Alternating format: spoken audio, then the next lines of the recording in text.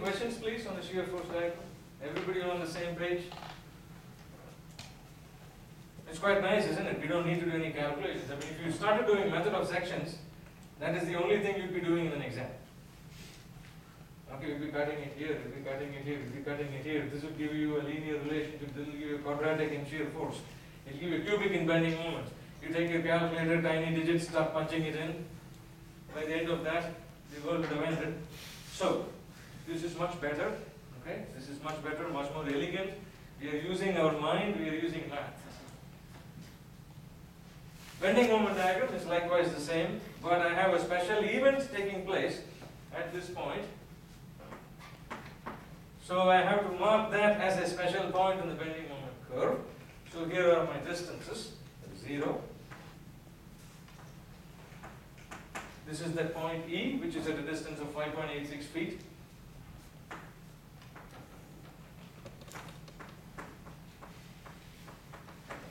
Then this is where I end up being 6 feet. And this is the end of it. Okay, so these are my lines of interest.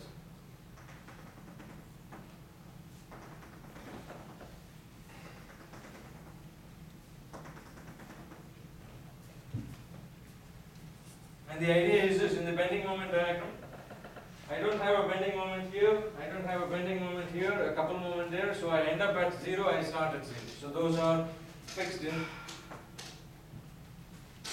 at the beginning of my calculations itself. Then all I have to do is the following. Okay, from the beginning of the beam all the way to the point E, what's going to be my bending moment value? It's going to be the area under the triangle portion, okay, which is this triangle here. So this area is half 150 times 5.86, uh, not 150, I'm sorry, 878.6, apologies.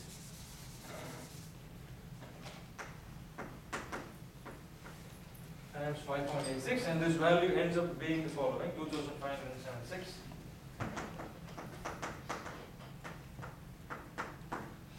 pound feet. So this is going to be the maximum value of the bending moment at the point E.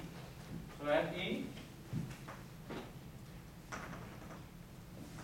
2756 pound feet, which is nothing but the area under the shear force tank.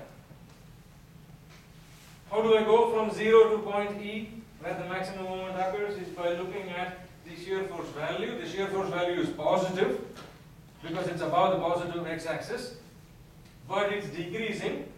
So my slope is going to be positive for the bending moment, but it's going to decrease all the way to a value of zero at the point E, because my shear force value is zero at that point.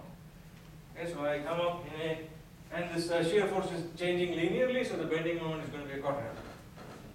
So I'm going to go in this particular manner. Okay, so this is going to be a quadratic. Bear with me for one last minute. Okay, this is a quadratic. Then from point E to where that small crossing is on the negative side, I will see that this is a negative area. So my slope has to increase because the value of the shear force is increasing negatively. But the slope is also pointing in the decreasing direction. So I'm going to go down a little. Okay, this is at the end of 6 feet. From the end of 6 feet to the start of the triangle distributed load, I will have to go in a linear fashion because my shear force value is a constant. But do I go up or down? I go down because the slope of the bending moment curve is going to be negative and it's equal to the value of the shear force. Okay, so this is going to follow the same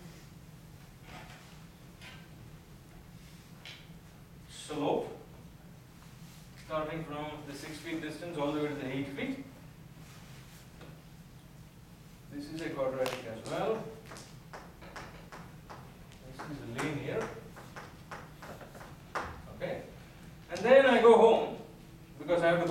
0 and the question is how do I go home?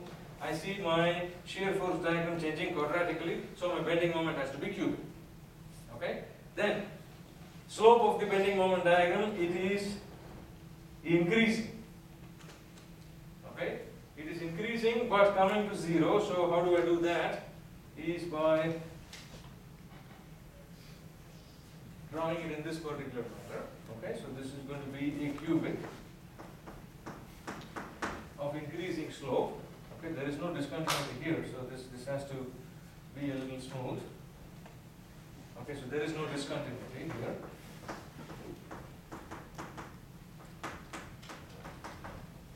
And here is my bending moment diagram. And one very last thing before we leave.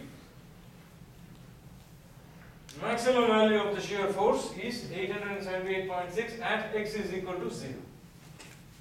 Vmax is that value that x is equal to 0 feet. Now watch this? The location of where the maximum bending stress occurs is not at x is equal to 0. It is actually at x is equal to 5.86 feet. So it is possible that if the beam is breaking, it could be breaking either at the x is equal to 0 location due to high shear stresses or at x is equal to 5.86 due to high bending stresses. Okay, so last thing I want to write, max 1,756 foot pounds.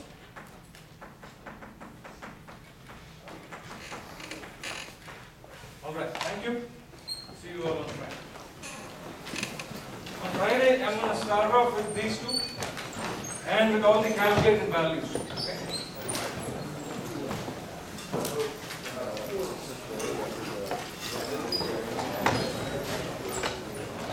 And there will be no homework folks, no homework due this Friday. Yes, I.